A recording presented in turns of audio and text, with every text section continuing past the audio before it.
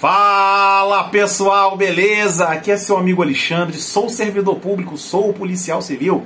Galera, e não é que saiu o concurso da Polícia Legislativa. Ah, mas não é a Polícia Legislativa do Senado ou da Câmara, não. É a Polícia Legislativa de Paraopebas, no Pará. Há muito tempo eu fiz um vídeo falando sobre as polícias legislativas do Brasil, porque pouca gente sabe que os municípios e os estados estão autorizados a criarem as suas polícias legislativas, tá? E no vídeo na época eu falava que Rio Branco no Acre, Palmas em Tocantins, Santo Agostinho lá, acho que é Pernambuco, ah, Belo Horizonte, tem as suas polícias legislativas municipais.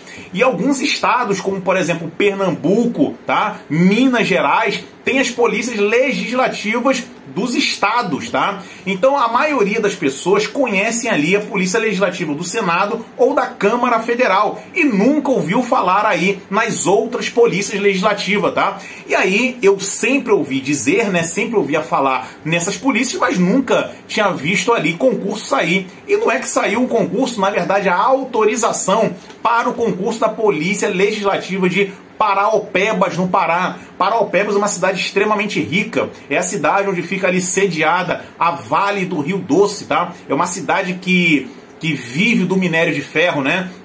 Então todo mundo fala, né? Não conheço a cidade. A minha mãe mora em Redenção, no Pará, no sul do Pará. Então lá, toda vez que eu vou, escuto falar sobre Paraopebas, que é uma cidade muito rica. E aí, galera, foi autorizada aí 14 vagas para a Câmara de Vereadores. Não ficou muito claro se é todas para a Polícia Legislativa ou se são seis vagas, tá? Mas enfim, autorizado aí esse concurso. O salário é de R$ 8.329, concurso de nível médio. Quer dizer, é, uma, é bem interessante para quem é do Pará e principalmente ali do sul do Pará, porque o Pará é muito grande tá? Eu acredito que uma pessoa que mora em Santarém, hum, talvez nunca tenha pisado no sul do Pará, ou sei lá, uma pessoa de Belém não compensa, sei lá, o cara ir lá para Paraopebas fazer essa prova porque é um estado muito grande, mas enfim, edital aí autorizado pelo, pelo vereador Ivanildo Braz do PDT.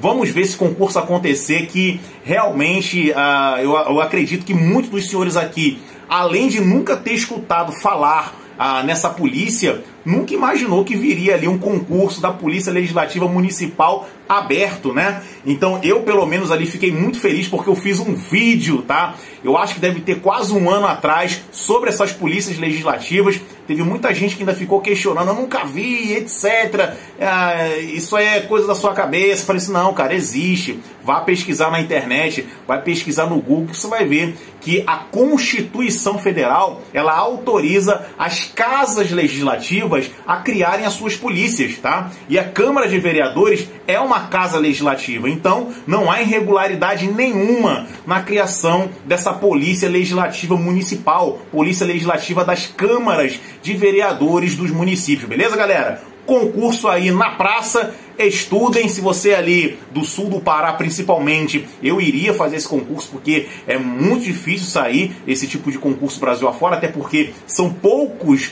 ah, municípios no país que adotaram essa polícia legislativa, a maioria colocam ali a guarda municipal, a guarda civil municipal para fazer a segurança do prédio público, né, é, dessas casas legislativas, e alguns municípios não resolveram ali criarem as suas próprias polícias, beleza, galera? Um forte abraço, fique com Deus e até a próxima.